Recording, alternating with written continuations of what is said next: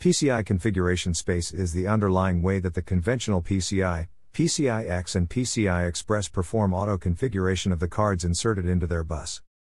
PCI devices have a set of registers referred to as configuration space and PCI Express introduces extended configuration space for devices. Configuration space registers are mapped to memory locations. Device drivers and diagnostic software must have access to the configuration space, and operating systems typically use APIs to allow access to device configuration space. When the operating system does not have access methods defined or APIs for memory mapped configuration space requests, the driver or diagnostic software has the burden to access the configuration space in a manner that is compatible with the operating system's underlying access rules.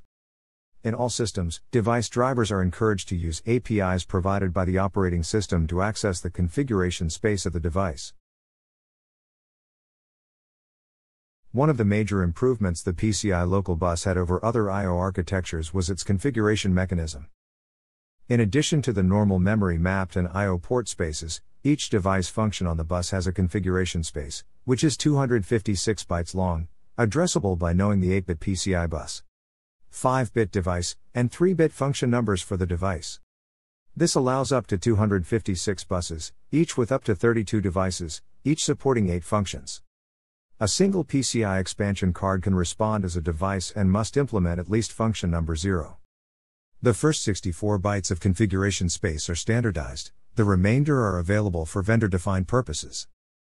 In order to allow more parts of configuration space to be standardized without conflicting with existing uses, there can be a list of capabilities defined within the remaining 192 bytes of PCI configuration space.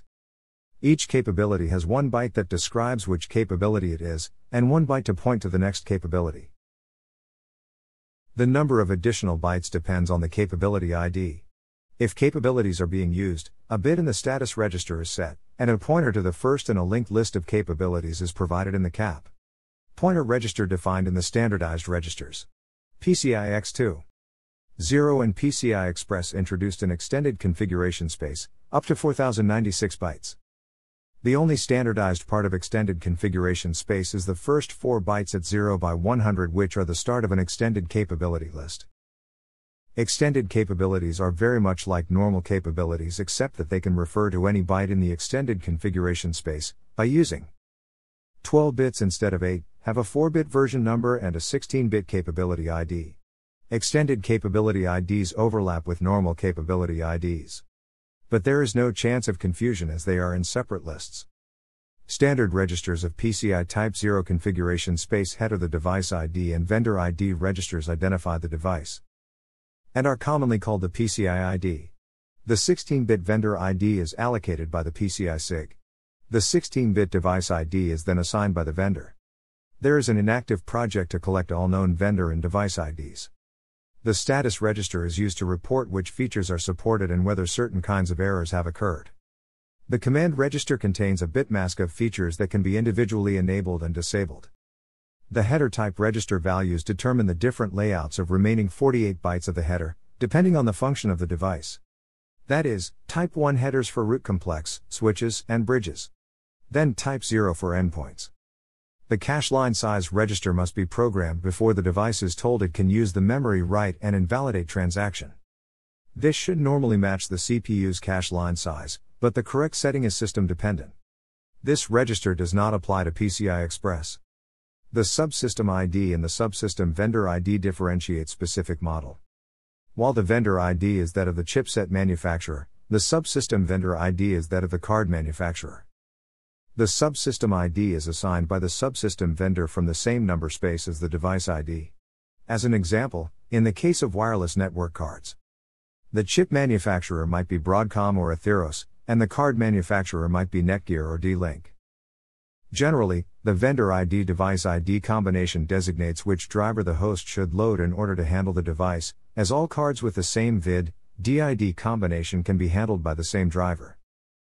The subsystem vendor ID subsystem ID combination identifies the card, which is the kind of information the driver may use to apply a minor card specific change in its operation.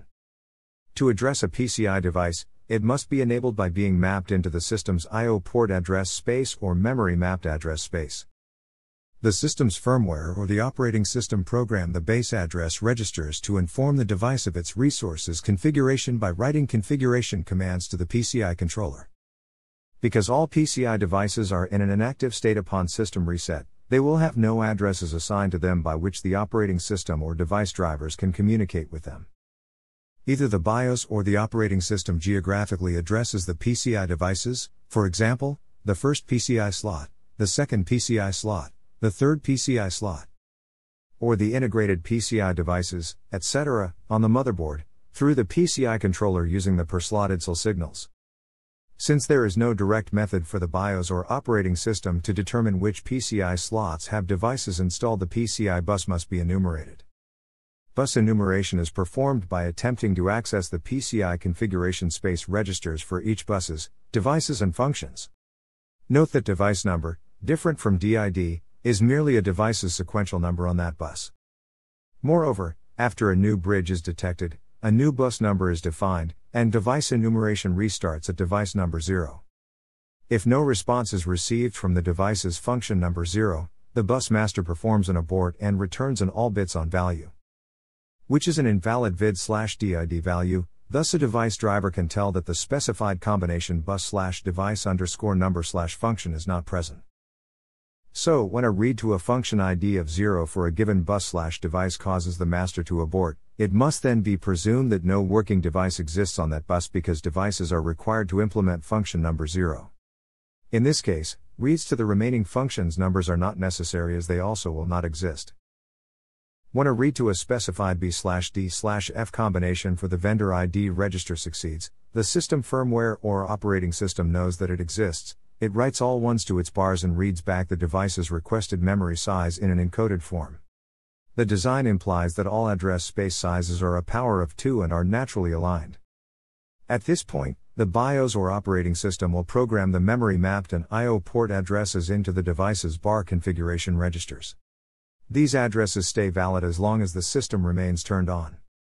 Upon power off, all these settings are lost and the procedure is repeated next time the system is powered back on.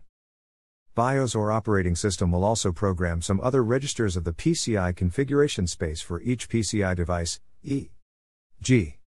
interrupt request. Since this entire process is fully automated, the user is spared the task of configuring any newly added hardware manually by changing DIP switches on the cards themselves. This automatic device discovery and address space assignment is how plug and play is implemented.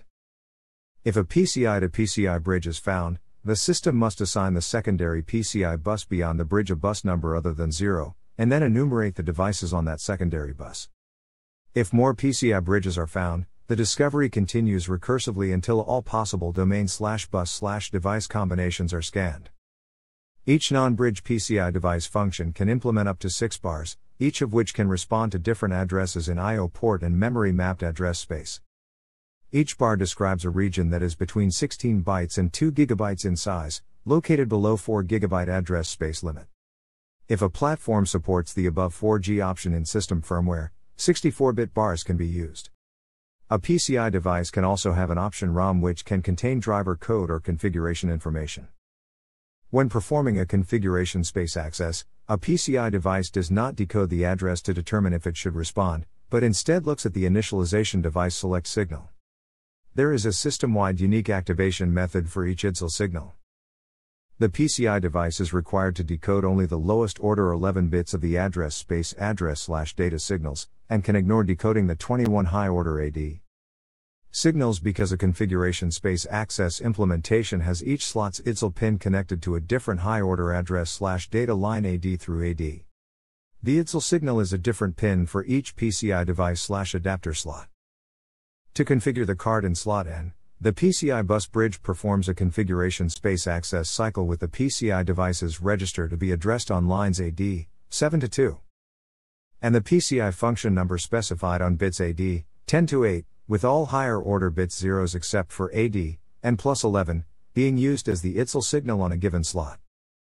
To reduce electrically loading down the timing critical AD bus, the IDSEL signal on the PCI slot connector is usually connected to its assigned AD, N plus 11, pin through a resistor.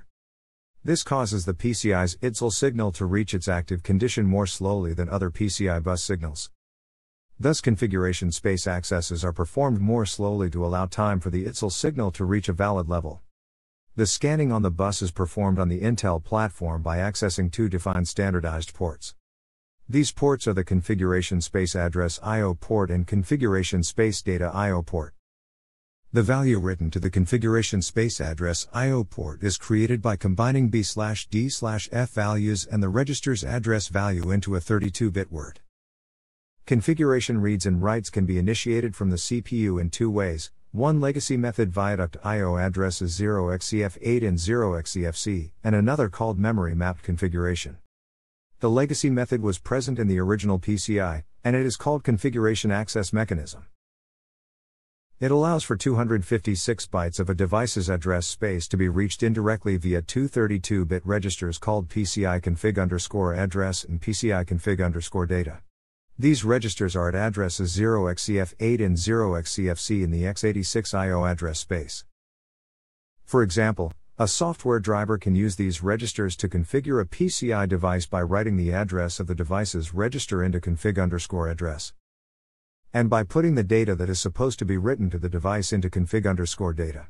Since this process requires a write to a register in order to write the device's register, it is referred to as indirection. The format of config underscore address is the following 0 by 80 million, bus, 16, device, 11, function, 8, offset. As explained previously, addressing a device via bus, device, and function is also referred to as addressing a device geographically. See arch slash x86 slash psi slash early. See in the Linux kernel code for an example of code that uses geographical addressing. When extended configuration space is used on some AMD CPUs, the extra bits 11 to 8 of the offset are written to bits 2724 of the config underscore address register, 0 by 80 million. The second method was created for PCI Express.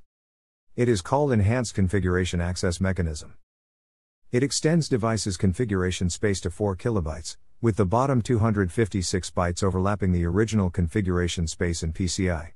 The section of the addressable space is stolen so that the accesses from the CPU don't go to memory but rather reach a given device in the PCI Express fabric.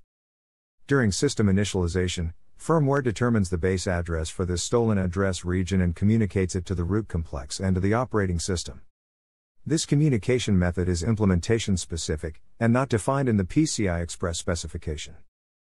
Each device has its own 4 kilobyte space and each device's info is accessible through a simple array dev bus device function, so that 256 megabytes of physical contiguous space is stolen for this use. The base physical address of this array is not specified.